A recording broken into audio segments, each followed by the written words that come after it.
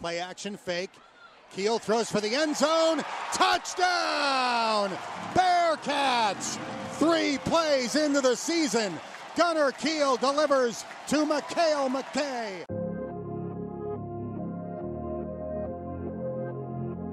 It's Stu Anima here, my co-host. As always, he is the man. He's the brand. Jay Thomas. What's going on, Stu? How you doing, man? I'm doing well. How you doing? I'm doing pretty good, man. We're here with a special guest, the one and only, The chosen one, Mr. Indiana, Gunner Kiel. Gunner Kiel. How you doing, man? Good, Pop man. it up, man. Gunner Kiel is in the building. Thank you guys for having me. Appreciate it. Hey, man, we appreciate you, man. Appreciate. How was your How was your Thanksgiving? It's good. Was it good? Spent in Tulsa, Oklahoma, so it wasn't too bad. Cool, cool. Always got to remember to be grateful, show Yeah. that No doubt gratitude, about it. you know, with your loved ones and um, with everything that goes on with our lives. We sometimes forget the little things. So Thanksgiving was great. Uh, was in Springfield, Ohio. Shout out to John Legend. So, Stu, Good, good. you going to have to cook the next time. Hmm, TV dinners. You probably cook worse than El Hodge. Ooh, hey, just a shot at El Hodge, cameraman. So, Gunner coming from Columbus, Indiana, uh, little old town. Um, first of all, going to Columbus East, you know, what was that like? You know, just being being in that small town environment and get a chance to put on for your hometown, and you know, just coming from those small beginners. Yeah, it was great. Honestly, you know, um, it was a football town. Honestly, um, had a lot of fun, had a lot of success. But uh, the guys around me were, were first class. You know, coaching staff was awesome, players were awesome. You know, it was, it was a it was a great uh, city to be raised in for sure. I've never been to Columbus, Indiana, It's boring, but it's nice. People are nice. so I know that um, you know you come from a football family. You know, your dad played at uh, Butler, right? Yep. Your brother played at Illinois State. Yep. And an, another one played at help me out. Indiana. Indiana. So just coming from that whole background of just football, you really didn't have an option. like, Not at all. It was Not like, at oh, all. are you the youngest? Youngest. You're the youngest. So that's why Two we call older him the chosen one. Right, So, you know, the last one, the grand finale. Yep. Yeah. So what was that like? You know, did you feel that pressure growing up, and who really like introduced you to the game of football at a young age? Uh, you know, I didn't think there was too much pressure. I know um, uh, my two older brothers had great success. You know, they got the opportunity to play at the next level.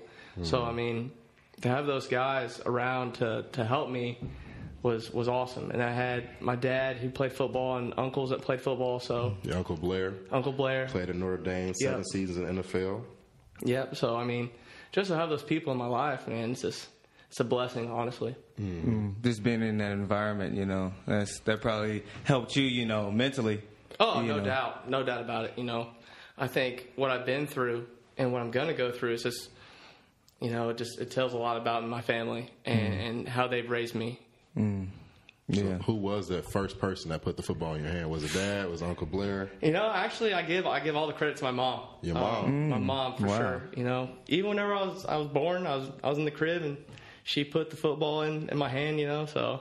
There's actually a funny picture of me as a little baby, and, and I got a big head and big body, you know, blonde head, and I got my football in my hand. So Well, it's a funny picture. So Yeah. I'm I'm jealous, man, because you know, don't laugh, you guys. Y'all probably heard this story uh, before. You know, I'm a basketball player. I played a little bit of football, or at least I tried. yeah, you tried. And uh, my seventh grade year at Princeton Middle School, you know, I'm the starting receiver. I just hit a growth spurt. I go out for an out route. I dive and like I'm like, oh my hand, I, I broke my wrist. Oh. The next year, I'm like, all right, I'm gonna come back. I broke the other wrist. Oh. So I had to annou- I had to announce my retirement. After two years of football, so I was supposed to be playing with you. Hey, man. So Oh. it is what it is, man. It's just uh, it ain't work out. Yeah. And Stu couldn't gain weight, so Yeah, so that ruined it. it, it ruined it That's fate. it ruined it. But you know, growing up, we all have our favorite players and people we looked up to. And um, I know you got a chance to spend some time at the Peyton Manning Passing Academy.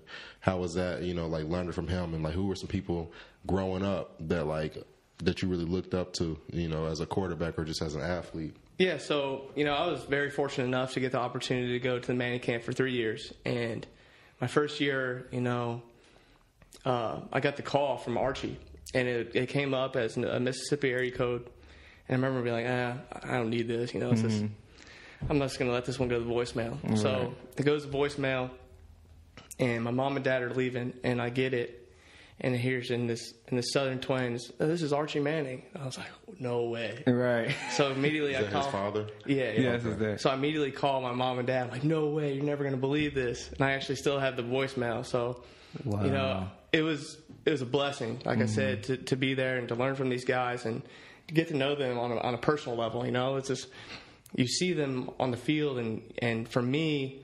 That was a guy I always looked up to. So Peyton Manning's the man, and especially playing for the Colts and me being from Indiana, you know, that was mm-hmm. awesome and and to get to know them on a different standpoint is is amazing. Just because you get to know them as a person, not just a football player, which is mm-hmm. huge, because everyone gets perceived differently. Mm-hmm. And you know he's he's first class, and he's a genuine guy, and and his commercials where he's funny, and he's that's just him, that's his personality. So that was awesome, getting to see that. That's what's up. Uh, I've never got a chance to meet him, but I will meet him one day. Yeah. I did meet Larry Bird. You know, years years Jealous ago, about that. Before social see, media. I gotta see. I went to a Pacers game, and you know Larry Bird is like, what is he like the something there? I don't know. He's a and so of we would wait outside the thing where the players come out. So he Right comes by the out. tunnel. Yeah, that's where I met him at. Yep. He came out in his car. I was like, I ran to his car, and he's like, nope. And I, I was at the window, and he's like, nope. I was like, How old were you? I was I was in high school. I was probably like a freshman. Oh wow. I was hurt. That's evil. I was hurt. That's Yeah, evil. that's I didn't get a picture or nothing. Okay. Well, all right, Larry. Mm-hmm. we're, gonna, we gonna remember that. but being from Indiana, man, uh, did you grow up a Colts fan? And um, you know, if you had a dream to play with any team professionally, would it be the Colts or hopefully not the Bungles, but The Bengals. the Bungles? But you know, uh, uh, I didn't really have a favorite NFL team, honestly. Really? You know, I just I liked who it, like anybody my my two older brothers liked. I was Mm-hmm. rooting for those guys. It was kind of like whatever my two older brothers do, I was going to do exactly what they were going to do. So. Mm-hmm. Gotcha. And and standpoint of playing for anybody, shoot, I'll play for anybody. I just want to get an opportunity. to play Right. at the next level. Yeah, that's all I need. Yep. It's, Yeah. it's anybody. You just need an opportunity. That's all. That's you know. Yeah, with anything, business. You No know, doubt about it. Because you can have the talent, Mm-hmm. you know, you can have all the potential, but it just takes one person to believe in you. I remember when I played basketball and I Mm-hmm. was going to different showcases. I remember my dad would just be like, "Well, son, at the end of the day, regardless if you get a chance to play college basketball or not, it just takes one coach." Yeah, you know, to it see just- the- see just, something it just in yeah. one person. Yeah, just one And person to, to believe in you. That's it. That's all you need is one person. And like we harped on last week, you know, this is called the millennial believer for a reason because we want you guys to believe in you. believe in yourself. Exactly. Yeah. So we're here to motivate, inspire, educate, and occasionally make you laugh. Yeah. That, that's come from Stu. but um, you know, you just growing up, like we like we said, um, you know, I know you were pretty much Mr. Indiana. You were named the Gatorade Indiana Player of the Year, Mr. Football to Indiana. So, what made you, um, you know, choose ultimately to go to Indiana at first? And uh, take that route, and then what made you ultimately choose to even come to Cincinnati? Yeah, so you know, my story is is all over the place. I mean, a lot of people, it's always gets brought up, you know, but I'm very thankful at the same time. You know, people come at me and like, you know, what were you thinking? You know, what was going mm-hmm. on? You know, at the same time, I was 18 years old. You know, mm-hmm. making a very hard decision, and I mm-hmm. wouldn't change any of it. You know, my biggest thing is that God has a plan, and and you gotta trust it. And uh, you know, um, committed to Indiana out of high school. My my my middle brother went there, and and I'm a local kid. I love my family. We're very close, so I live 45 minutes away from Bloomington, Indiana. So I thought, you know what, I'm going to go to IU, and you know things just didn't work out. So uh, I fell in love with LSU's quarterback coach. Later, find out that he he's sick, and you know he ends up not even coaching the the following year. So that was a big dagger in the heart, and I thought to myself, I can't go 17 hours away from my family. That's that's just I can't do it. Yeah. So decommitted from LSU, and it was a like the next day, you know, because I enrolled early. I enrolled early to uh, my to Notre Dame. You know, I graduated high school early. You know, I wanted to get a jump start, be an early enrollee. And the day I committed or decommitted from LSU is, you know, I have to, I have to make a decision because the next day is signing. You know, I got to sign to go get ready for for class. So, Right. you know, I'm I'm panicking and and I'm telling my mom and dad like, hey, like, I just want to take a semester off. Like, let me just go to like a little small down the road college or whatever and just let me be normal and let me figure out what I want to do. You I never knew that. and and, Don't and that. at the end of the day, I slept on it and I prayed about it and uh, got a lot of insight from my mom and dad. And you know, Notre Dame, I thought would be a good fit, and I'll go there for a year and a half. And their uh, redshirt freshman Everett Golson, who's a phenomenal player, you know, takes him to the national championship. And I'm thinking, this guy is a year older than me. Mm-hmm. You know, he's going to have phenomenal success. He just went took his team to a national championship. You know, I don't want to ride the bench for four years and get one year playing. You know, I want to play. Right. And, and so I decided to, to transfer to transfer, mm-hmm, mm-hmm. and, and and but you know, so be it. Everyone has their own opinion, mm-hmm. and but I made I think I made the right decision to come to Cincinnati, and I've had some ups and downs, but overall I've enjoyed the process and wouldn't change any of it. Exactly. I think it's it's interesting how you say you took that you took that break. You know what I mean? And so what did what did you gain from that? Like that, just stepping away for a second. Oh, I, I didn't end up taking the break. Oh, you didn't take no, it? I didn't Oh, take the break. okay. You know, Okay, I got you. I wanted to, but my mom and dad were like, "Hey, you, you know, you have a lot of other schools that really want you. You know, Mm-hmm. Right. and Notre Dame is a great academic school. You're gonna, Got you. and and you come out of Notre Dame with with your degree. You know, sky's Mm-hmm. the limit. You know, but mm-hmm. I'm 18 years old. Like I said, you know, I'm not Yeah. thinking about academics. I'm thinking about football. Right. Mm-hmm. Which is which is dumb of me, but you know, It's that's my us at that age. that's my immaturity to show him. Mm-hmm. So, you know, um, that was a great learning experience for me, and definitely learned and grew as a person from that that opportunity. I can only imagine, like you know, as a kid, like I had Division two, like junior college, Division three looks, but I didn't have the like right opportunity to come out of high school, so I didn't never receive the Division one offer. But I could never imagine like having like Alabama calling, you know what I mean, and like USC, UCLA, like those are like dream schools. Oh, yeah. So uh, for those people that don't know, um, I mean, Gunner had received some scholarship offers from like Alabama, Georgia, LSU, Michigan, um, Missouri, Notre Dame, Oklahoma, Cincinnati, to name a few. So, you know, you just talked about it a little bit, but for the recruits out there, like how important is it not to rush into a decision and, and to make sure you know, you're you're weighing all your options and just how how is that process? You know, going through that. If I uh, could do it all over again, if I could do it all over again, the main thing I would focus on is I would surround myself with being around the guys more, the guys on the team. Instead of my biggest thing was I want to get to know the coaching staff. I want to get to know this staff. I want to get to know them all. But at the end of the day, you're going to be with your guys. You know, those are your mm-hmm. teammates. Those are your brothers. You know, and that's what I wish I could do all over again. Was I didn't spend enough time and didn't ask them enough questions about the program like I should have. Mm-hmm. Because at the time, you know, you're 18 and you mm-hmm. you go to these programs and you know you're kind of you're you're, you're shocked that you're getting this opportunity, but you're you're also very um, what's the word I'm looking for? Uh, intimidated by these big name guys that you're like, well, I don't really want to ask them any questions because this is, you know, this is a who's a big quarterback. Whenever um, What school was it? I'm trying to think like uh, like anywhere, like Alabama's starting quarterback at the time. You know? Forget the name. Yeah, so, And, and, and like you just think like, you know, this guy has had such success at the school, has won a national championship. You know, like, what what do I ask him? Right. You know, I'm just. But then again, you just got to realize that they're just another person. You know, exactly. they're just they're they might be a football player, but there's more to that person than what you really think, and you just got to get to know them. So those are going to be you guys. Right. So just getting to know your team and uh, getting to have that chemistry is important. And How mm. important is that chemistry? Talk about that a little bit because I know I coach. I coach seventh grade basketball, Yeah. Mm-hmm. and I try to tell them all the time, like, man, it's, you, skill is good, all of that is good, but at the end of the day, a, a great team, a team that's like a family, in the hard times they're going to be able to endure. Oh, no doubt. You know, No so doubt. it's huge. Honestly, you know, you got to mm-hmm. have that camaraderie with with the guys. Yeah. You know, if if one person thinks that they're better than the other person and their ego is is much bigger and they think that they're sweet, then that team's going to fail. Mm. You know, and and um, you know, our our year didn't turn out like it like we wanted to, but. You know, things happen for a reason, but I still think those guys on the team that we were we were still very close. Just things didn't go our way, you know, and that and that happens. And and like I said before, you know, God's got a plan, and you got to trust it. You know, Right. He wouldn't be putting you in the situation if you couldn't handle it. Right. And, and at the time, you know, maybe Cincinnati football can handle that right now, but you know, everyone has a down year, and and and we just got to build off of that. But uh, you know, you got to be, you got to stay as a family and as a tight group tight group when those hard times come coming your way because you don't mm-hmm. want you know a loss to ruin everything. Right.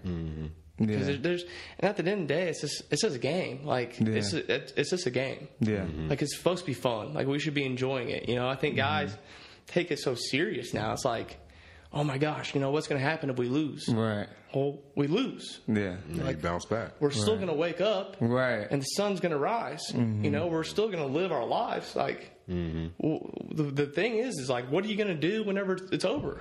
Mm. You know, A lot, what, a lot what- of a lot of athletes, you know, when it's over with, They're not sure what to do. you know, a lot of athletes go into the post depression. It's like, Yeah. you know, what do I do when all I've done is perform my whole life, and now I'm supposed to, you know, work a nine to five or do this? They're not used to that. No. You're used to working with a team, so And like Pete It's- Carroll, it's different. I like I love Pete Carroll, the um, Seahawks coach. Um, and he told his players, I can't remember what the player's name is, but he got hit really hard. He almost broke his neck. Can't remember what his name was. I think he did break his neck actually. Kind yeah, of. yeah, I think yeah. Yeah, so- I, I read the story not too long ago. Yeah, I think read it shared on the Players Facebook, Tribune. Yeah, did you, yeah, yeah, yeah, Amazing, amazing. He told them, um, he tells all his players, you live in a fairy tale world. All right, because stuff is going to go. The fans are going to go away. All right, the the the house, all of these things, it's going to go away at the end of the day. And if you don't have, if you don't know who you are, and you get lost into what you do, Mm-hmm. then you'll you'll you know you'll feel lost. you got to play Yeah. the You know, so- the fame, Yeah, the fast the fans, women, you know, all of that. yeah. Eventually, That it's going to end. Yeah. you know. That's all temporary, and a lot of people only mm-hmm. want you for your success. No, and you no. really find out, you know exactly how this is. 'cause I know what it was like when things ain't going your way, and like when you're not the man. You find out who's really rocking Oh, with you. no doubt about Yeah. it. You- no you- doubt about you know it. what I mean? Mm-hmm. So just like um, and when I when I played and when I stopped playing, it's just I noticed, you know, Oh, oh, yeah. I don't get the same attention, but that's just how it mm-hmm. is. Oh yeah, and you know those people, you know, even if that does happen, you know, you, and that person does that, treat you differently, mm-hmm. you don't go treating them differently. You know, mm-hmm. you still you kill them with kindness, Yeah. and you you you be the bigger person, and and you know because that's that's what God put us on earth to do, right? You know, Yeah. And even though, like you know, like, like we talked about, despite the long recruiting process from Indiana, LSU, Notre Dame, and then choosing to come to Cincinnati, you, you know, you got a lot of crit- criticism, and when you decide to do something different, you become misunderstood. So, like we talked about with the lifestyle brand, misunderstood millennial. You know, I know that that had to motivate you and help help you just play with a chip in your shoulder. And when I look back over your career, all I can say is well done, because um, you did it. You know what I mean? Like I'm looking at just some of these career highlights. You know, in high school, in two seasons, you threw for you know four thousand eight hundred thirty-one passing yards, sixty-one touchdowns in two years as a high school starter. Like that's phenomenal. Mm-hmm. Just to think about just the the short you know tenor you had in high school, but some of the like the the career highlights I remember is the the first game. 1st mm-hmm. game, I was at the game. El Hodge, I don't know if he was there. Um, against Toledo at Paul Brown Stadium, six touchdowns. So mm-hmm. Gunner over here, he broke the FBS record for a debut in the first ever game. And mm-hmm. um, that was definitely a highlight I'll never, like, ever, ever forget. Yeah. So, what was that like? Like your first game, just like you've been out for a while and getting a chance to come out in front of the fans and you break a record. It was so surreal. You know, it's, it's just one of those moments that you, you dream about. You know, you, mm-hmm. you Yeah. play in your head like, you know, what's it going to be like whenever I first play a game? Like, am I going to play well? Am I going to play bad? Mm-hmm. And I was a nervous wreck. You know, I was, I, I couldn't sleep all week. You know, I was watching so much film, and I didn't want to fail. That was my biggest thing is I don't want to fail. Yeah. And I remember talking to so many of the starters, like, "What's it like? What's it like playing in a game?" Mm-hmm. You know, and and one guy that that was always there for me, and he he could have just said, "You know what, young guy, you know, whatever, you know, I'm going to do my own thing," and that's Munchie Legaux. Mm, and I love I love Munchie to death. Yep. And and you know he had that bad injury against Illinois, and and you know he came Was to that, your, battles. was that your sophomore year? Uh, that was my first year here. So you were soft. I was a yeah red shirt. I forget. I think I started as a red shirt? Were you- sophomore. No, Yeah. I was no. Okay. So he gets hurt, and then next year you know he's battling back, and I ended up playing, Mm. and and I had a really good game. And that guy stood in my corner, and he was the first one when I came off the bench. You know, whenever I came off the field, he was the first one to get off the bench and, and tell me good job, or I need to do this, or he sees this. And so you know, whenever I had that that career day, he was right there to congratulate me. You know, he could have been sour about it, but Right. he was such a great guy, and, and that went so far to me whenever whenever I was a young guy. Mm-hmm. That was my first first time playing. You know, right. I'm just kind of slinging it, just having fun, mm-hmm. and I just so happened to throw six touchdowns and, and had a really good day. And you know, he he was there in my corner. He helped me mm-hmm. succeed in that game, and I take I give so much credit to Munchie for for how I played that game. I'll never forget it. It's always good having somebody in your corner, man. Oh yeah. You know, always, always, always mm-hmm. goes a long way. Back to what we talked about. You just, you know, well done with your career. Uh, some of the career highlights. I listed some of them because I'm just a big fan. Tony Pike, Mardy Gilyard. A status. Uh, t- oh, can't even say the word. Isaiah Pead Thoughts and prayers with him. He had that career-ending injury, um, mm. lost part of his leg, so that was devastating. But yeah. those were all people I looked up to. So then when you come in, I'm like, dang, like this is like the next Tony Pike. you know, literally, he you was like the next Tony Pike to me. So. 6,835 passing yards, 56 touchdowns, only 26 interceptions in your whole career here. That's amazing. And your 1st mm-hmm. season, you tied up with Ben Mauk with um, the passing uh, what is it? The 31 yard, 31 touchdowns. You tied the record with them. So that's just like seeing that everything you got a chance to do is a blessing. Like, what is it like to leave a legacy for the young kids? They're like, hey, I came in and I set my mark, and you can too. So yeah, just leave know, a legacy. What's that like for you? At the, at the end of the day, you know those those numbers are awesome, and and and they're going to stay there. You know, I'm a part of UC history, and and I'm very blessed to to to be there. You know, but I really wouldn't be there with those guys around me. You know, mm-hmm. Chris Moore, Johnny Holton, Mekale McKay, Shaq, Max Morrison. You mm-hmm. know, uh, Alex Chisholm. You know those guys. Nate Cole. NFL receivers. Unbelievable guys. Mm-hmm. You know, and then and then the offensive line. I mean, some some big dudes. I remember first year I played with. We had eight or nine guys rotating offensive line. Like that's mm-hmm. amazing. And yeah. their average was average height weighs like six six, like mm. three hundred. Right. I mean, yeah. what quarterback wouldn't? I yeah. mean, the system I was in too, we're we're throwing it all over the yard, you know. Mm-hmm. But at the end of the day, you know, this it doesn't really mean much. As as if you're not a good guy, and and you don't take, you know.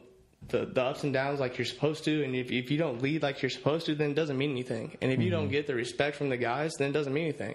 Mm-hmm. You know, I, I take great pride and what I did off the field. You know, being yeah. being a team player. You know, battling yeah. through adversity. You know, mm. speaking up whenever no one would, and and just being there for my guys. I think that's that's what I like the most about my career is that I never gave up on the on the people around me. And even whenever I wasn't playing, mm-hmm. you know, I was still there for those guys. Yeah. And I never gave up hope. I never gave up doubt. And I just tried to do whatever I could for my teammates. I'd rather people remember me as, as Gunner Kiel, the, the person off the field and just being a good guy, mm-hmm. than Gunner Kiel on the field. Because, you know, people aren't going to remember Gunner Kiel at all the next two years. You know, you know, who, like, you think back through the years and you think who, who's on the, who, who all were All Americans last year? Who was on the first team All American? I don't know. You don't, you don't think of it like yeah. uh, you know you don't, you, you don't, good, you don't think a, of that. You got a good point. Mm-hmm. But you just remember those people and what they did off the field. Mm-hmm. Yeah, and that's mm-hmm. why I, I won't wrote this down. I said the true test of a man's character is in times of adversity. You know, you may not be responsible for getting knocked down, but you are responsible for getting back up. Yeah, and I've literally witnessed you do that. Right. You know, off the field, on yeah. the field, like literally on the field. Joey Bosa knocked you in your butt. this dude got right back up. I've seen the, the Memphis game. Yeah. Uh, unbelievable. I mean, you played against a lot of NFL talent, man, and you balked up, so I don't blame you. But, you know, when times get rough, you know, just staying persistent, you know, and showing people that through difficult times you have to, you know, keep going. And, um, you know, for the younger people out there, how, how important is it for you that – to harp on like uh, leaning on your faith and you know really mm. what you believe in and just staying close to your support system. That foundation, no doubt. Mm-hmm. Yeah, I know you're a man of faith. Oh so yeah. How, oh, yeah. how and, important was that for you to just stay close to like you know your your cores and oh yeah everything what you believe in? Well, my my spirituality has just grown tremendously tremendously this year. You know, this this this year alone. You know, I'm not gonna lie. The first year I played. You know, I, I, had a really good year. You know, I came back and, and I already knew I was like, I'm going to be the starter next year. Mm-hmm. You know, it doesn't matter. You know, I'm I'm the guy now. You mm-hmm. know, I had I had a big head. You know, and, and I got put right back into my place. And you know, I deserved it. I deserved to be put, be put back in my place. And I'm so happy I did. Mm-hmm. You know, I got I got that shot against Memphis, and and Hayden comes in and has a phenomenal game, throws for 530 yards in three quarters, absolutely amazing. Mm-hmm. So you know, why not have a quarterback competition? And I took that to heart, and you know, I battled back. And then things didn't go well this year, but you know that's whenever you turn to your faith the most. Mm-hmm. You know, whenever tough times come your way, what are you going to do? Are you going to be slumped? Are you going to feel sorry for yourself? Are you going to, you know, crawl in a hole and and and and, and play the smallest violin and, and yeah. and just yeah. suck up your own tears. You know, yeah. what, what are you going to do? And I think that that shows a lot as a person whenever you bounce back, like you said, through those hard times, through adversity. Mm-hmm. And, and, gosh, there were so many times where I questioned, you know, dude, is this worth it? Do I really want to do this? I felt you know? the same. I know, I know exactly how it is as an athlete. Yeah. You know, mm-hmm. with me, you know, after losing my best friend at 18 of cancer, and I'm like, okay, my mom works at UC. Do I go to UC and just like gain that college experience, or do I go away from home, play at a Division two? And I'm like, well, it's a, it's a good chance I'm not going to the NBA, so is it worth it? So I had to really question that. But you know, everything happens for a reason. You know, because if I wasn't if I did continue to play ball, like you know, I wouldn't even be here on this podcast yeah, right now. Exactly. Right. You know, the so nonprofit yeah, stuff, you, stuff that I never thought I would ever did would have never happened if I would have just thought about me. Yeah to go away. So everybody has a different you, journey. You truly learn a lot about yourself. You know, especially you build so much character, mm-hmm. and, and especially just, in college at oh, this yeah. time. Like I learned a lot about myself the past yeah. four years. You just build so much off of off of your off of your mistakes and, and of your failures. You know, and mm-hmm. you just whenever you go through that hard time and you finish, you feel so much better about the outcome than, mm. you know, I'm done. And so, you take the easy ride or you take the hard ride. You right. talked about how like you could almost quit, you know, and just in life, football, whatever. And Stu always asks this. He asks this question: uh, "What's your why?" You know, right. because if you don't remember your why, you you would have quit. But obviously, or if your why's not big enough, you know, you know, a lot of times people quit because their why is they don't know it, or it's yeah, just not big know. enough, or it's just up. about them. You know, yeah. we'll get so. you up in the morning? What's your why to keep going? What's your What's your why? You know, um, that's a great question. You know, I, I get up every morning and and think to myself, you know, God's given me so many opportunities. You know, the people I'm closest with, my mom and dad, my two brothers, my my cousins, my aunts and uncles, you know, those people have believed in me. You know, why stop now? And mm-hmm. and I want to do it for me. You know, this is about me now. I've done it so many for so many different people. You know, my first year coming out and playing, you know, I was getting bashed by fans. I was like, I'm playing this year because you guys. Mm-hmm. You know, last year I was playing because I had the big head. You know, I'm I'm the guy. I'm super sweet. You know, mm-hmm. and that's not how it is. And this year, you know, I came out and my mind was completely different. You know, I'm going to do it for the team. I'm doing this for myself. And, and at the end of the day, it's going to feel so much better, win or lose first string, second string, third string, you're going to feel so much better about yourself if you just go and do it and you and you try your best and you know and if, if bad things happen, then they have happened for a reason. You know, mm-hmm. my big thing is is I've, I said it before is is God wouldn't put you in these situations if you couldn't handle it. You know, mm-hmm. God gives His toughest toughest battles to his toughest soldiers. Mm-hmm. You know, and pride comes before destruction. Yeah, and you obviously been humble you know, you stay you stay humble. So, as it's a good testimony again that I've watched you just mature, even just for the year or two I've known you. You know that you never you never were like a prideful person. Like no. every time I saw you, you were always like humble or like, oh hey, what's up, Jay? Like you just you always tell me like you know even though I may play a sport, you know, it's more than that.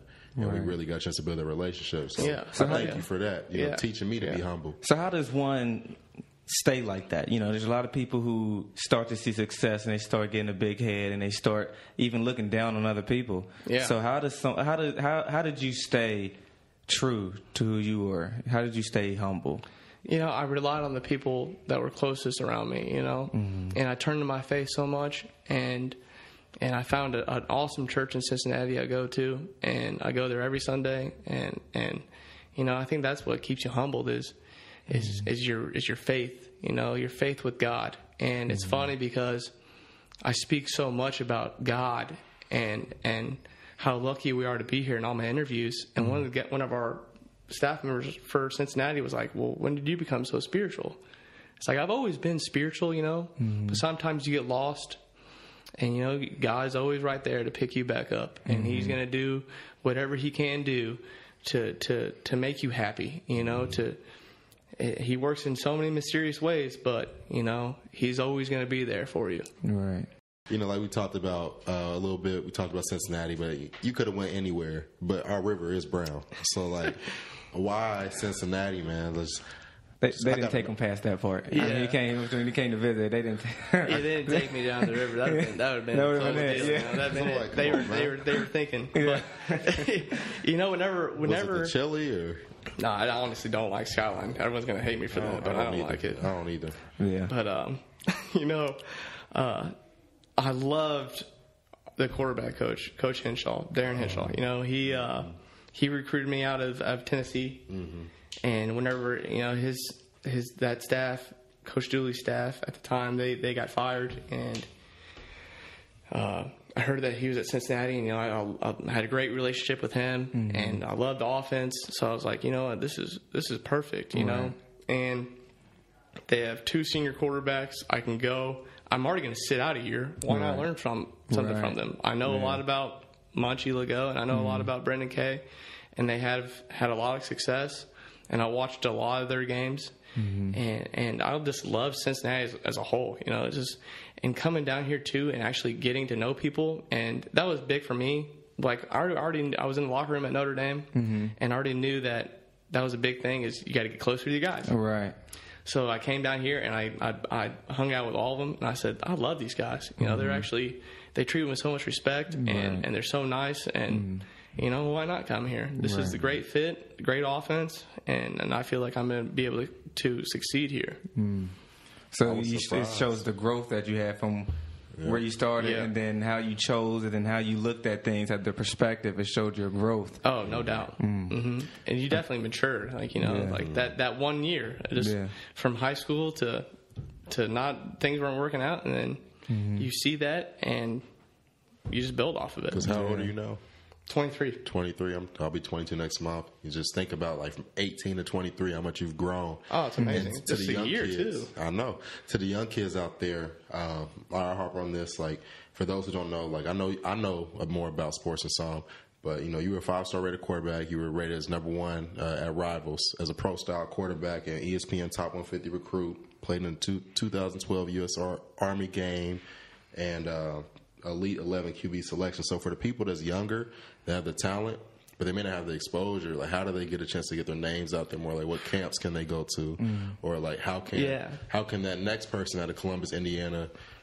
I know it's all about rankings and ratings, but you know, how can they get their name out there? Yeah. So, what advice would you give to like So- the young kids to I get was, that exposure? I was I was so fortunate to have two older brothers that, that that went through the process, and I was so lucky to have a dad like I have who who learned from it. You know, um, with my oldest brother, you know, it took him a while. He he sent out his highlight tape as a junior in high school, and people don't realize that you can send out a highlight tape when you're in middle school. See, I regret that. I didn't. I didn't put Yeah. myself Yeah. out there. See, but Yeah. people, people don't know that. People have no idea. They're waiting for somebody to come to them. You, Yeah. and, and our high school coach, eh, you know, he's super old school and he was a great coach, you know, but.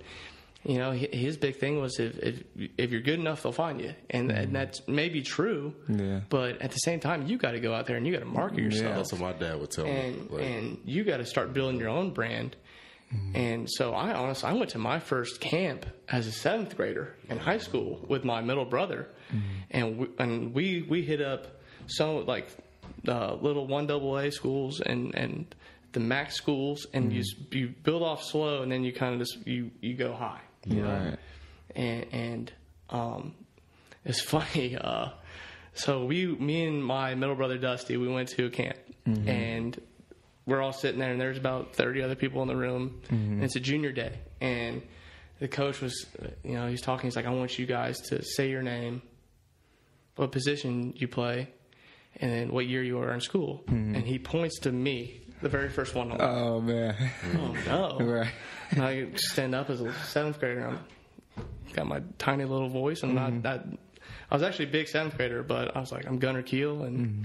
I go to Central Middle School, and I'm in the seventh grade, and everybody just turns around like, "What in the world is this seventh grader doing here?" Right. And I had I had a, a cannon for an arm as a seventh grader. I could sling it. Is that why your name is Gunner? Like, You know, maybe, but but like it really is Gunner. Yeah, right? it is, it That's is. the crazy thing. Yeah. It's So- it was destined to be. yeah, exactly. But we're we go out and we're throwing, and we're throwing deep balls, and you know uh, we're throwing we're just throwing fifty yard uh, like posts or something like that. We're just he wants to see how coach wants to see how our our arm strength is. Right. And I'm a seventh grader, you know, and I'm like, I don't think I've ever thrown the ball fifty yards. Right. And I take my he, and he comes up to me before and he's like, "Hey, do you want to scoot up?" Like, is it? I was like, oh, "Nope, I got it. Yeah. I got this." And I take a drop and I take the biggest hitch and I sling this thing back and I throw everything I have into this ball. Mm-hmm. And I thank God I rip I rip this thing Mm-hmm. and it goes 50 yards and I'm like, "Thank you, God." Yeah. And I'm thinking, I'm like, "Did I just throw this ball 50 yards?" Right, seventh right. you know? Damn. Oh, I man. tried to throw, but my like socket. My yeah, my shoulder be I'm hurting. like- yeah, I'll be thinking. I'll be doing the it must be the lean. form. Yeah, I must not have the right form. My shoulder be all thrown out. So I got lucky. I was very lucky. you know, very like we talked about off the field. Uh, I know you received your bachelor's, right? Yep. You got your degree. Got my degree. in Health education. health education. And uh, are you pursuing your master's or? So, um, I have, like I said, two older brothers, and one's actually a physical therapist now, mm-hmm. and my middle brother is just, I think he's has like a semester, and he's gonna be done with his, he's gonna be a physical therapist, Right. and you know, I went down and visited them at their school in Nashville, and met all the professors because I didn't, school? I, The uh, I think it was Nashville State Okay. or Tennessee State. And you know, I was like, Oh, TSU. yeah, T- yeah. And I was thinking, you know, uh, I don't know if I want to do PT, but once I went down there and got to know the the, the professors and stuff and what it's all about, you know, I think so. I'm going to take another year prereqs, um, and then apply to physical therapy school. Clap it up. Amazing. Appreciate it. Amazing. Amazing. So, um, health education, right? Yep. So, what would you what would you see yourself doing after football with your degree? Would it be like um, in the training room? Like, kind of walk me through. Well, that's what I'm going to do the PT route and then become a physical therapist. And then my brothers and I want to open up uh, our own clinical. And own we already have our own little thing. Right now it's K3, K3 training. You know, that's why we're KO three. Yeah, three brothers, K3. Leave so a legacy. You live. yeah, that's amazing. so we, we, my oldest brother's already like he's so mm-hmm. bought into it. So mm-hmm. that's why I wear so much K3 gear and mm-hmm. and, Because you and- did used to wear the wristbands. yeah, right? yeah. The B we have B, K3. B uncommon. And then G uh, G three. G3 to stay positive. Speaking G3. of G three, because we were just talking about God and being spiritual. Go ahead and tell them what G three means. You know, G three is is give God glory. Hmm. Yeah, that's huge for me. And, and I mm-hmm. actually took off all my wristbands because I was getting rashes. You know, my mm-hmm. I wish I had them During on. the game, we'll have to show his game day, his swag, man. He be wearing the visor. Yeah, I, I got I got like I think it was I had I had seven seven wristbands, seven like the wristbands, and then mm-hmm. was half it- sleeves. I think it was five and a watch. I wore a blue watch. oh man. a blue what? I have a watch. If you go back and watch the game, A watch? I, I have a watch on. What? But that, that watch means a lot to me. It symbolizes a lot. You know, I'll- later down in life, I'll explain to people what the watch means. Mm-hmm. Okay, we'll have to have a talk off the scene. Yeah. yeah. Have to help me out. So. You know who you remind me of? Go ahead, Stu. Tim Tebow. Mm. I would not class myself in that rate just because he's he's he's so he's up here. I'm like down here. It's the it's the He's the it's the man. character and the just like the demeanor, you know, and you know, just being a person of faith, you know, just representing. That's just the first person that comes to my mind. Being And- unashamed. yeah, being unashamed Misunderstood and misunderstood, millennial- you know, believer. You and you know, sometimes when you're a person of faith, you you you go through things, and that strengthens your faith. Yeah, you no know, a lot of us want to. Um, Get strength. We ask God for strength, but we don't want to go through anything that makes us stronger. Yeah, You know, and so it's. I think it's just amazing. Everybody has their own journey, you Yeah. know, and life is a journey. I always say life is a journey, not a race. Yeah. A lot of people are racing, running, running, running, trying to beat somebody else. Yeah. but it's not a competition. Not at all. Not you at know, all. And, you know, and also along with that, you know, you don't you don't know what certain people are going through in their life. You know, we're so quick to judge other people. You know, you just you have no idea what some people are going through and mm-hmm. how good some people have it, and how nasty those people are to certain people. You know, it just mm. it kills me now in society how people are looked at and how it's so mm-hmm. frowned upon. Like, Yeah. like I just don't understand why everyone can't just get along. You know, Yeah. like how hard is it to be a nice person? Yeah. Mm-hmm. I think for some reason I just feel like it all comes down to fear. Mm-hmm. I think a lot of people that are. episode. Yeah. Fear holds a lot of people back. And remember Yeah. this quote? Um, I saw it on social media, and uh, somebody said, "I'm happy that I went through the struggle because I stumbled across my strength." And it's true. Oh no You doubt, know, yeah. I, I don't really regret, you know, any of the, of the decisions. Uh, shout out to Lecrae. He has a song, "No Regrets." I listen to it every day. Yeah. Uh, you know, you can't live with no regrets. You really can't. And you wouldn't be the person you are today, you know, without it. Yeah. And so I got a question. Um, fear, because fear is so. It just it kills so many dreams. That holds so many people back from a lot of things. You know. Mm-hmm. So. You talked about how you know your first game. You know you was like a little nervous and all of that, and so how a lot of people are held back by fear. So how do you how do you conquer fear? you know my biggest my biggest fear is, is failure. Mm-hmm. Play- I think I, I think that goes for a lot of people. Is you don't you don't want to fail. Yeah. But at the same time, you fear failure. But how are you going to grow as a person if you don't fail at something? Right. So you know, we all fear it, but fear and failure are so good because you you learn about yourself and you grow mm-hmm. as a person, and then you learn from your mistakes to get better. You know, Right. like say, you know, let's go back and look at the South Florida game. You know, I mm-hmm. come in, I had an awful game, and I get mm-hmm. benched in This year? last year, South Florida at South Florida. You know, I get benched after the first quarter. I already have two picks. You mm-hmm. know, how am I going to react? Mm-hmm. Am I gonna am I gonna cry about it? Mm-hmm. And the way I handled it was terrible. You know, the next day I had a, I had a we had a we had a, a players only meeting, and I take I said some stuff that I wish I would have never said at all Was it the players, coaches? it was to the players, you know, but it wasn't it wasn't how I was supposed to, to go about it. I went I went about it the complete wrong way, and you know, I failed. Mm-hmm. I failed as a teammate. I failed as a as a player, you mm-hmm. know, and I failed as as so many other things. But then you go back and you think, dang man, why did I do that? Like, mm-hmm. why did I do that? Like, I'm so dumb. Right. But then you learn from it. Right. And then you think, I'm never going to make that same mistake again. And and you know, but if you don't if you don't go out and, and try to to do something, you know, then then how are you going to grow as a person? Yeah, mm-hmm. exactly. I think a lot of people, you know, they don't do nothing. Yeah. You know, they they're just they want to play it safe. Right. And so, but then later on, they look back like, "Dang it, should've Yeah. I should have." Yeah. You know, I should have. And you said how you know that wasn't really your proudest, fond moment. Well, what was your favorite memory here at Cincinnati? My favorite moment, believe it or not, is uh, Whether it was a particular game, a special you know, moment. it's, it's not even it's not even about the games. It's not even about the stats or or me throwing an X amount of touchdown passes or any of that. I think it was me this year taking on the role of being a third string quarterback. You know, that's just because it shows. You know, I've I've been at the highest of the high and I've been at the lowest of the low, and this year was definitely my low point. But I learned so much about myself being a third string quarterback, thinking, you know, I'm still a leader for this program. Hmm. You know, during the summer, I was still getting third you were string. captains too, Yeah, I right? was still captain. Mm-hmm. You know, I was still getting third string reps. Mm-hmm. But you know who was lead- I was leading those practices. I was in charge of everything. Right. You know, and whenever guys went to someone, they came to me. You know, mm-hmm. I, I gained a lot of respect from the guys on the team just because of the role I played. Right.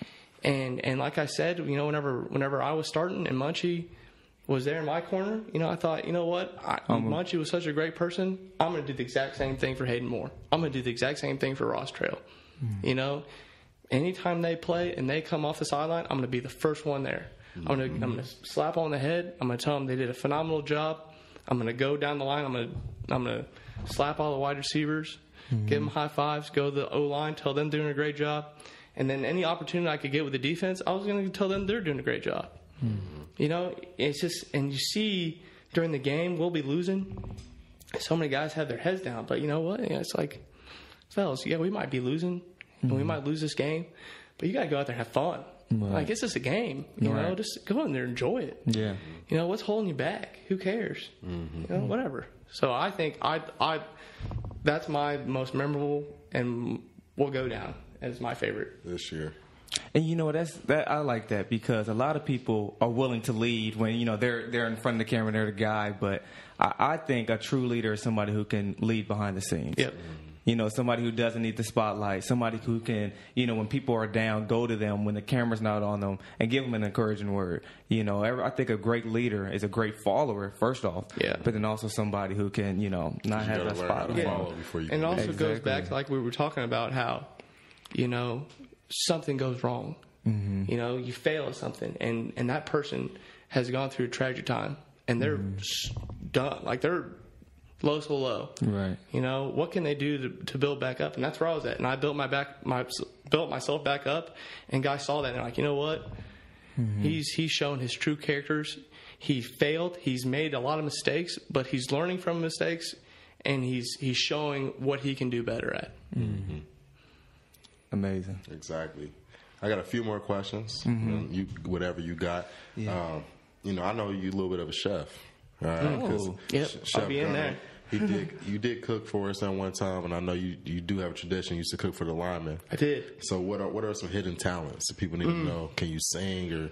just- Mm. So- I just know about Chef Gunner. That's all I know. I'd be the most amazing housewife, house dad, whatever you want to call it, in the entire world. If any if any lady is looking for a sugar daddy and take care of the kid and clean the house and, and cook, you're looking at him. You know, I take? I take great pride, and I always watch my mom. You know, she'd always fold clothes, and she'd always do our laundry oh, and you fold do clothes. fold. I She always fold that. clothes. so I'd always watch her. and I'd just kind of critique and look back, and I was like, okay, you know, this started at a young age. And I'm like, okay, I can fold. Mm-hmm. She's getting it. Right. I was like, how can I make this better? What can I do? Mm-hmm. So I like I have my own little personal folding style now, and I mm-hmm. take great pride in it. And I fold my shirts up and color coordinate and. And I fold my sweatshirts a certain way, fold my sweatpants a certain way. You know, everything is pretty. I'm very, Neat. very neat and organized in the household. I'm about to move to a new house, so I'm gonna remember that because I remember visiting your apartment, and I'm like, how do you fit all? He literally folds. You probably fit a lot in like places Oh, where it yeah. seems like you Oh, look- yeah. You got to see it. Because my clothes, if you go in my room, I have a. It's kind of shameful. You've been there. I have a dresser, but Uh-huh. it doesn't really have that many clothes in it. It has like folded papers and stuff like that. But then I have a hamper, and then that's where all my clothes are. Let's at. just let's, It's not let's, even let's folded. move on. Yeah, let's move on. hey, you know, hey. I'll come. I'll come help Unashamed. you. I'll come help you. Unashamed. Yeah, I, I'm a One hire six. trying to come come in. My last two questions, uh, I'm excited for you, man. You know, you got your degree, Mm-hmm. you got a chance to have a great career, but we know this is not the end of Gunner Kiel. Not at all. So, what plans are next to you know um, get ready for potentially a, a professional career? Yeah. So, do you plan on going to any passing camps or any? Um, you know, training facilities to work out at. Uh, you going back to Indiana? You know, I'm I'm still I'm still trying to figure that all out. But I actually got an invitation to play in the East West Shrine Game. So, pretty- yeah. What's it called? East West Shrine Game. Oh, like this, like a, The Senior Bowl. Is it the Senior Bowl? No, it's not like the big Reese's one, like uh, Chris Moore played in. But uh, Parker a- Anger played in it. It's it's like the one below game. it. It's a pretty big deal. So I Okay. got invited to the Well, game. congratulations. Thank you, thank you. So I think that's that that's huge for me. So Will you be in the Senior Bowl too, or just that game? just that game. Just that game? Okay. Well, I'm excited. I'll have to watch Yeah, it. I'm gonna watch it. I'll have to watch it. So, um, I don't know when the combine, the draft is. I'm not worried about it. I just know in due season. Uh, just me and Stu says all the time: be still. Yeah, be still. yeah. Yeah. just be still lot of and people know got He's God. look. Yeah. because everything's gonna work out. Yeah, Yeah. exactly. So, um, you know, when it's all said and done, Good. what do you want people to be? What do you want people to look at you as? Like, what do you want to be remembered by? So when it's all basically, filling in this blank, Gunner Kiel was. just another guy, and will always be just another guy. amazing. That's amazing. That's a great answer. Clap it up. Clap it up. That is amazing. I do have one more question though, because I've, I've been reading the Players Tribune thing, and their things are amazing. Oh, absolutely. Oh, It's I love 'em. amazing. So, you know, I didn't even know about them until recently. Yeah, was I like, didn't see it, yeah. Wow. So basically, my question to you is, um, what would you tell that 18 year old self that was you know young and what would if you could say one thing to him, maybe one encouraging word or whatever, what would you say? Trust the plan. Hmm. Trust the plan, trust the journey, the process. Trust the process. Hmm. Trust everything that God is putting you through. I'm personally clapping up because that, that's that's just one of the hardest things, man. Is to trust the process, especially when you're in it. Yeah. When you look back, it's like, oh, okay, you know. But when you're actually in the process, it's hard to be like, I'm in a process. Yeah. You just you just think you're in a situation. You know, you think you're in a problem. You think you're, oh, uh, I'm down, and not realizing that God is molding you, shaping you into exactly who you're called to be. So. Man, I, I've known that from experience, but I know from experience as well that when you're in that situation, it feels like you're lost. Yeah. You know, but like you said, God is always there. Yeah, no doubt about it. God is always there. Mm-hmm. Man. You got anything, Jay? You, you got anything else? No, man. That, Well, I'm gonna end it with this: mm-hmm. learn to give without the expectations of getting. Mm-hmm. And when you focus on just being a good steward to other people, like how you were there for Hayden and Ross, other people, I believe great things can happen. So when you focus on making things happen for other people, then you'll be blessed tenfold. No doubt about it. that's what I'm gonna end it with. Is you know, just don't focus on yourself and just learn to give without expectations of getting. And this is Jay Thomas. Stu Anima with the great Gunner Kiel. Mm, thank you guys. Appreciate you. Thank you. Appreciate